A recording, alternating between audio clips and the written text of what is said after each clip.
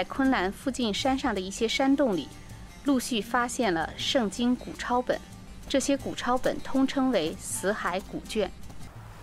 在我后边的就是四号洞，在这里曾经发现了超过一万四千块经文残片，其中包括了在二零一二年由挪威学者确认出来的尼西米记。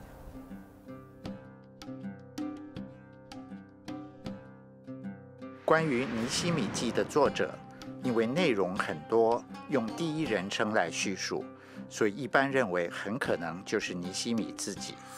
至于《以斯拉记》，犹太人的传统认为作者就是以斯拉，因为全书大部分都是以斯拉用第一人称写的，而且文体结构前后一致。这两卷书完整的记录了这三次归回的起因、任务和过程，同时。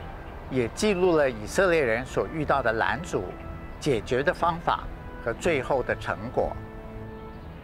历史是一面镜子，让我们知道什么样的行为、怎样的选择，是今天在我们的生命中立稳那金银宝石、永远不会朽坏的根基，好让神的祝福从天上临到你的生命。播种国际事工，顺服神的呼召，让圣经成为看得见的活水。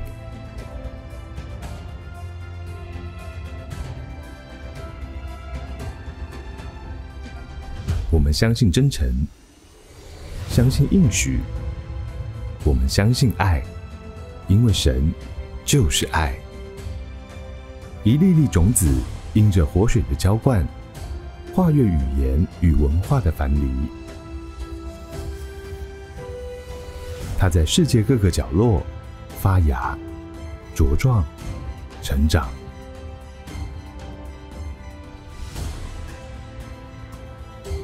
走过十一年，还有更远的路。播种，陪伴您，共饮活水，把种子撒下，分享活水，让希望发芽。让爱茁壮，播种国际施工，邀请您与我们携手前行。是撒种的有种，是要吃的有粮。